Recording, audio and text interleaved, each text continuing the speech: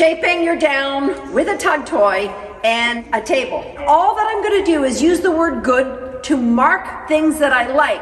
I wait for her to offer something. First, it's anything different. Anything different gets a good. Eventually, I would like her to jump up on one of these items as I walk near it. So I'm to come near this one. Good. Ah, whether she puts her front paws or back paws, I don't care. As long as she shows some inter- interaction with that. She's immediately going into a SIT. So we'll just see if she'll offer anything else.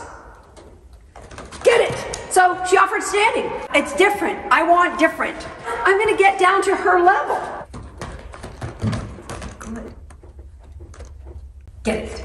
I'm going to tug on here, see if I can get that butt to lower. Yay! Good job. It. Yeah! And when she does what I want, a big celebration, she gets to come off.